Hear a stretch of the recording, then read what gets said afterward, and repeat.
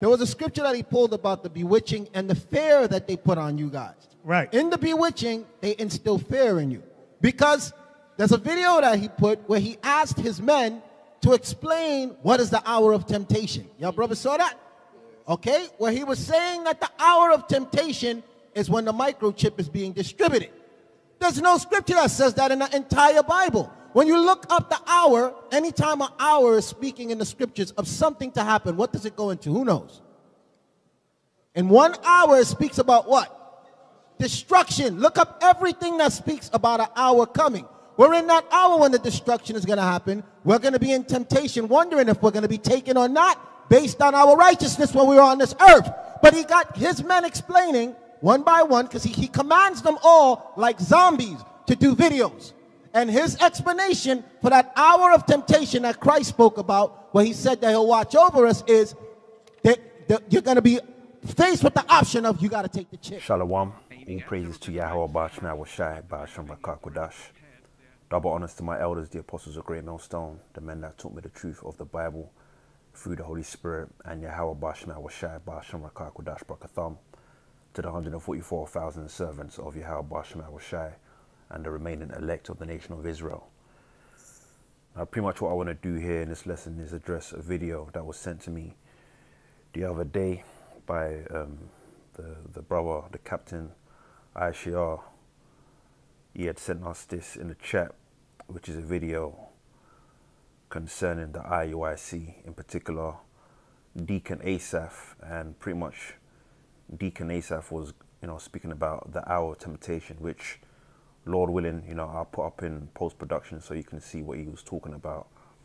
But the IUIC, in particular, Deacon Asaph, they're in grave um, error concerning the prophecy regarding the mark of the beast pursuant to Revelation 13 and 16, alongside their error concerning the hour of temptation pursuant to Revelation 3, verse 10.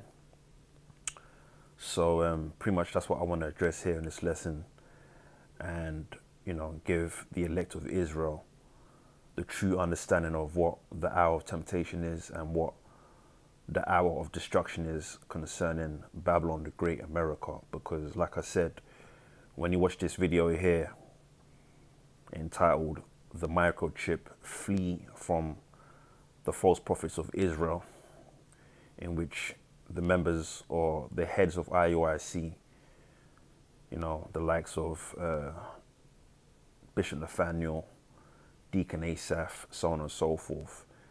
You know, these are the false prophets that our Lord Yahawashi warned us about, okay? Pursuant to Matthew 7, verse 16.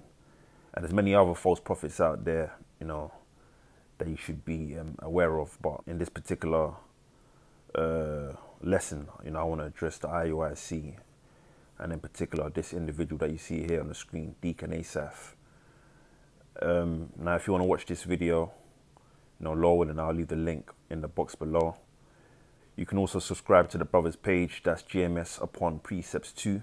Right, that's Captain Aisha out there in the Carolinas. This is his second page because his first page or his main page currently right now is on strike. So, you know, press subscribe and get edified over there. Now, as it pertains to individuals like this, let's start in the book of Titus. And then we'll take it from there, Lord willing. and uh, this is actually not a book, but an epistle, a letter that was, you know, penned by the Apostle Paul um, to his understudy at the time, Titus and this is pretty much what he said. This is Titus chapter 1, and we'll start at verse 10. It says, For there are many unruly and vain talkers and deceivers, especially they of the circumcision. The circumcision, in short, is pretty much referring to the Israelites that knew that they were Israelites back then, which were so called Negroes, Judah, Benjamin, and Levi, that were still dwelling in the land of Israel, in Judea and whatnot. And then you had the uncircumcision of our people, the Israelites that was scattered, you know, even back then, that were dispersed throughout the different uh, countries. They too were Israelites, But these were Israelites that, you know, fell away. As it's written, when you go to Jeremiah 17, verse 4, these were Israelites that had discontinued from our heritage.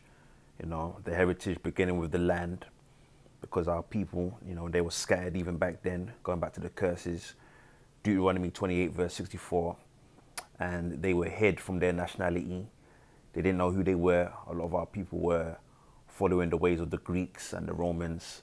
You know, they weren't keeping the laws of our Heavenly Father, Yahweh. And they certainly didn't know about our Lord, Yahawashi, you know, when he came. Hence the Apostle Paul making that statement, I have become the apostle of the Gentiles because the uncircumcision, well, these were Israelites in a Gentile state of mind.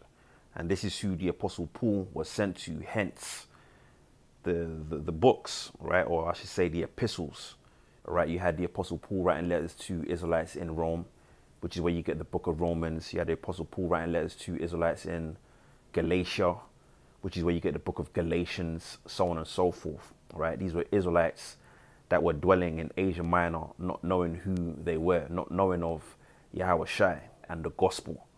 And this is who the Apostle Paul was sent to, to bring back the Israelites that were uncircumcised in flesh and in their mind back to their true nationality and back to the truth. All right, that was the job of the Apostle Paul. Okay, so the circumcision, like I said, is referring to those that actually knew that they were Israelites back then. And not only did they know, but they also boasted in knowing. They boasted in the law. You know, they boasted in keeping the laws, which is quite reminiscent of the IUIC. All right, it's very reminiscent of Bishop Nathaniel and his cohorts. So, you know, everything is spiritual, and I'll leave it at that. Okay, so let's read it again. It says, "For there are many unruly and vain talkers and deceivers, especially they of the circumcision." Whose mouths must be stopped, who subvert whole houses, teaching things which they ought not, for filthy lucre's sake.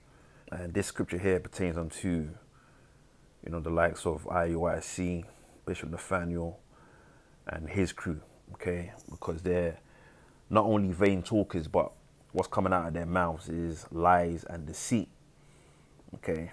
So it's very important that you Israelites you know, are aware of characters like this, false prophets like this, and you stay clear of them because their teachings will lead to your destruction. Okay.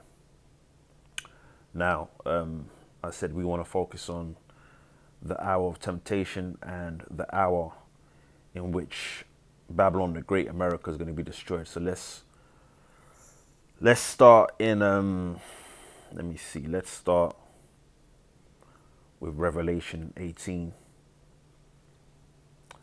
and verse 1. And this was pretty much a vision that the Apostle John saw on the Isle of Patmos over 2,000 years ago concerning Babylon the Great, which is America, being destroyed within one hour.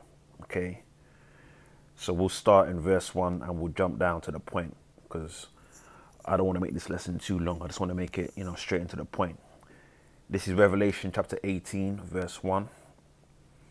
It says, And after these things I saw another angel come down from heaven, having great power, and the earth was lighted with his glory.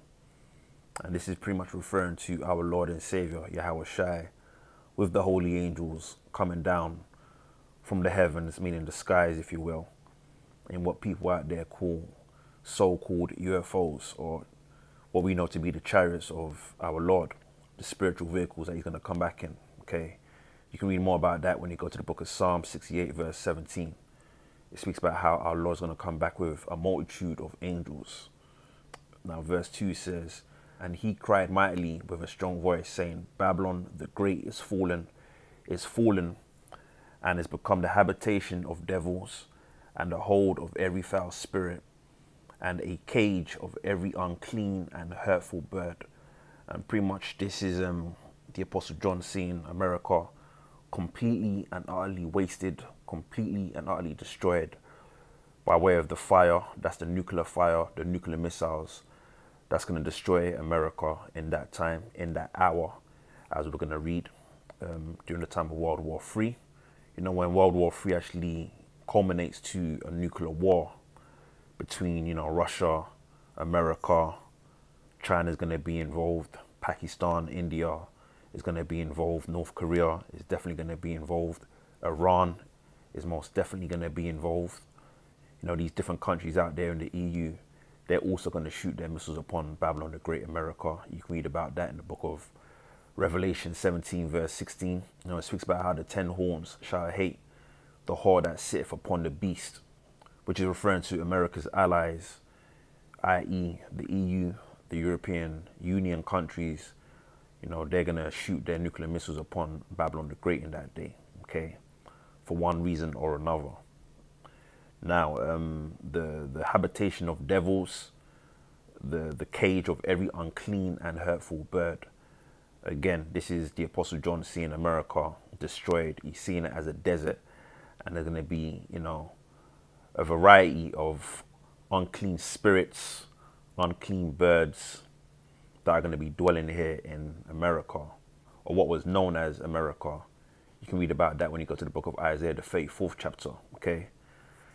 Now, let's jump down to the point, because like I said, I don't want to make this lesson too long. Um, it says, Revelation 18, verse 9, and the kings of the earth which is really referring to the different prime ministers, the different presidents, the different governors around the world, you know, in these different countries.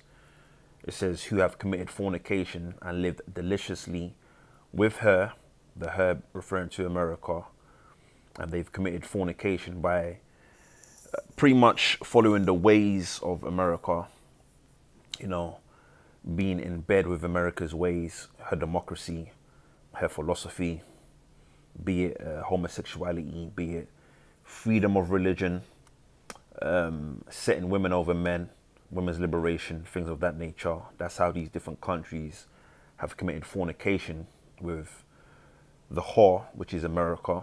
It says, shall bewail her and lament for her when they shall see the smoke of her burning.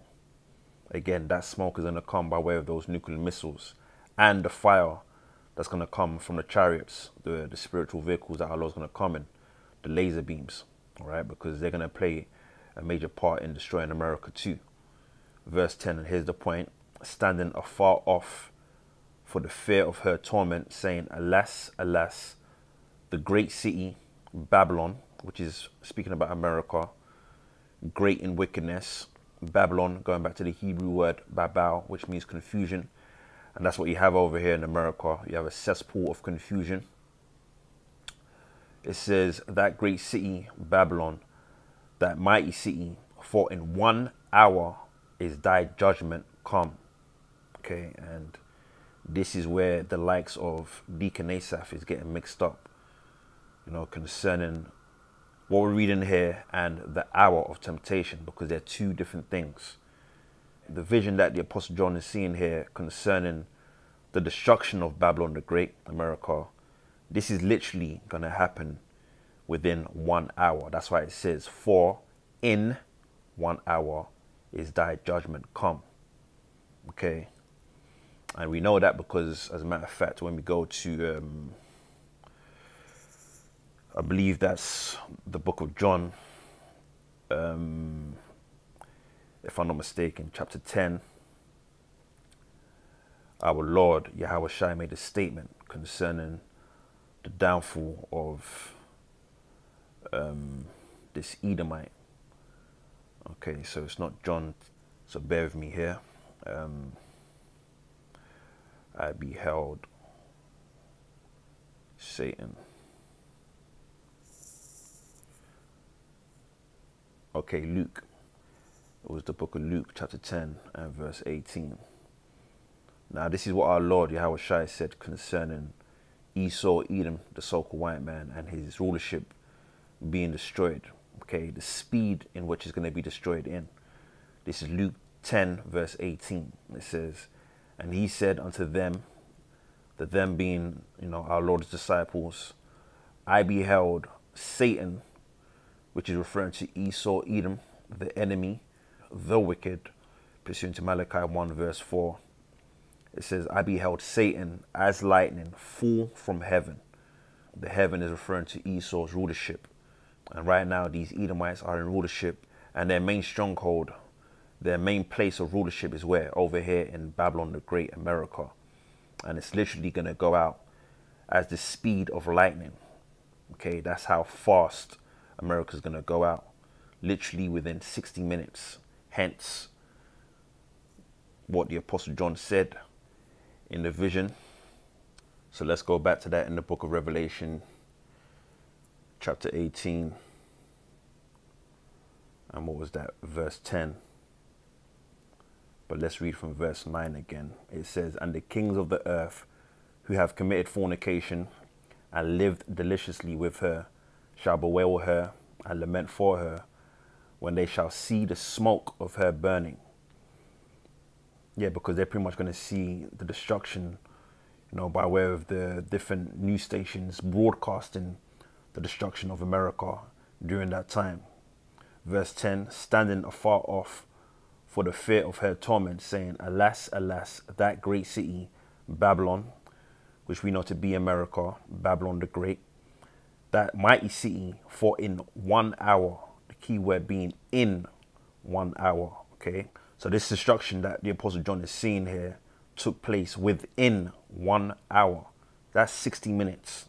That's how fast America was destroyed. And that's how fast Esau was revoked or taken out of rulership by way of the nuclear missiles and the return of our Lord and Savior Yahawashi. It took place within one hour. It says, For in one hour is thy judgment come. Now, from there, let's go to Revelation 3 and verse 10. Because this is where Deacon Asaph, you know, spoke erroneously now, this is Revelation 3, verse 10. It says, Because thou hast kept the word of my patience, I also will keep thee from the hour of temptation. The hour of temptation. And these are the words of our Lord. You know, a promise that Yahweh Bashmal Shai is making with the elect in particular, the 144,000 servants, you know, those that are serving our Lord by presenting our bodies as a living sacrifice, by us going out there on the highways and byways out there on the street corners teaching this word. This is really a message unto us. Lord willing, we be those men, okay? And Lord willing, we be a part of the elect, which the word patience means to suffer. And that's pretty much what the elect are doing. You know, trying to be upright in this wicked society, trying to keep the law, statutes, and commandments to the best of our ability, rehearsing the righteous acts. And like I said, us men, you know, those of us that's being called, we're going out there diligently you know, I speak for us here at Great Millstone and like minded righteous Israelite men. Those of you that actually doing the work diligently, going out there on the highways and byways. Well, that's us suffering, all right? Suffering in the spirit. All the things that I mentioned, as well as, you know, brothers suffering physically in their body, ailments, and things of that nature. You know, we're suffering our Lord Yahweh not being here with us. We're suffering the kingdom not being here. So it says, Because thou hast kept the word of my patience, which is this truth, I also will keep thee from the hour of temptation. Okay? So this is what our Lord is going to do for the elect. And this is a promise. This is somewhat of an exchange. Because we've been doing the will of Yahweh Bashmal Shai to the best of our ability, okay, diligently, in all faith and in all sincerity, well, guess what? When Esau fully brings about his new world order, which he's calling the fourth industrial revolution, the global reset, in the form of the implantable microchip, pursuant to Revelation 13 and 16, and he causeth all, both small and great, rich and poor, free and bond, to receive a mark, that mark being the implantable microchip, in their right hand or in their foreheads, and that no man might buy or sell save he that had the mark well, guess what? Yahawashi is going to give the elect a special spirit in that time to resist taking that chip. Because we all know what's going to happen to those that's going to receive that chip. They're going to be destroyed, okay? During the time of World War III and by way of those nuclear missiles. That's the vision that the Apostle John saw in Revelation 14, 9 and 10. The destruction of Babylon the Great and different parts of the earth and those that took the chip being destroyed along with it. Okay, again, Revelation 49 and 10 tells us that. Now it says here, because thou hast kept the word of my patience, I also will keep thee from the hour of temptation. Now, this hour of temptation that our Lord is referring to here is completely different to the 60 minutes in which the Apostle John saw America being destroyed. This hour that our Lord is speaking about, he's saying an hour figuratively, okay? It's pretty much like a metaphor. And this is where the IUIC, in particular, Deacon Asaph, is confused, okay? And that's why it says this here. Let me get this real quick. Um, Proverbs chapter 4, and we'll go to verse 7. It says, Wisdom is the principal thing. Therefore, get wisdom, and with all thy getting, get understanding. Because it's one thing um, knowing the truth, it's another thing understanding the truth. It's one thing receiving a vision, and it's another thing understanding the vision that you've received. Okay, and this is where the likes of the IUIC are in error. They don't have the understanding of these scriptures or of these prophecies. Okay, and this is why our Lord Yahweh Shai Shai said when you go to Jeremiah 3 verse 15, he said, I will give you pastors according to mine heart that shall feed you with knowledge and understanding. Because it's all about having the correct understanding of these scriptures. And this is where the apostles, the elders, and the men of great millstone come into the picture. Okay, because we're going to feed you with the correct understanding through the Spirit, through the Holy Spirit of Yahweh Shema Shai, in which that's what we're doing. Okay, now Revelation 3 verse 10 says, Because thou hast kept the word of my patience, I also will keep thee from the hour of temptation. Now, this hour of temptation is speaking about a period of time. It's not literally 60 minutes. All right. This is going to be a period of time whereby it's going to be impossible or damn near impossible to function in the society without having an implantable microchip. And that's what Esau's bringing the implantable microchip. And that's going to be at the helm of his New World Order, the fourth industrial revolution, the global reset that he's promoting right now. And that's the time we're coming into, the key word being temptation, in which when you go into this word temptation, what does it mean? It means to be tried, to be tested. So this individual, Deacon Asaph, was way off when he said um, the hour of temptation is referring to when the destruction takes place and we're going to be in temptation, wondering whether we're going to be delivered or not. That doesn't even make no sense. Okay? The hour of temptation is speaking about, like I said, when Esau fully implements this new world order. Okay, he sets up this cashless society and he pretty much makes mandatory the implantable microchip in order to function in the society. And the hour is referring to a period of time it could be, let's say, from a month to two months, you know, but it's going to be a period of time where our our faith is going to be tested, and that's what the word temptation means: to be tested, to be tried. Okay, and this is why our apostles, you know, teach us to go into words because if only Deacon Asaph and the likes of IUIC actually went into this word temptation, then they will get a better understanding of what this prophecy or what this vision is speaking about. Okay? So let's read it one more time and close out. It says, Because thou hast kept the word of my patience, I also will keep thee from the hour of temptation. So, like I said, Yahweh Bashma Ashai is pretty much going to give the elect of Israel um, the spirit to resist, know, taking that implantable microchip, which is the mark of the beast, which is going to lead to their salvation. And those that don't have that spirit that go ahead and take that chip, they're going to be destroyed in the hour, which is 60 minutes of destruction. Again, going back to Revelation 18, verse 10. You see? It says, Which shall come upon all the world to try them that dwell upon the earth. And that's pretty much the understanding, okay? It's no uh, big breakdown or nothing like that.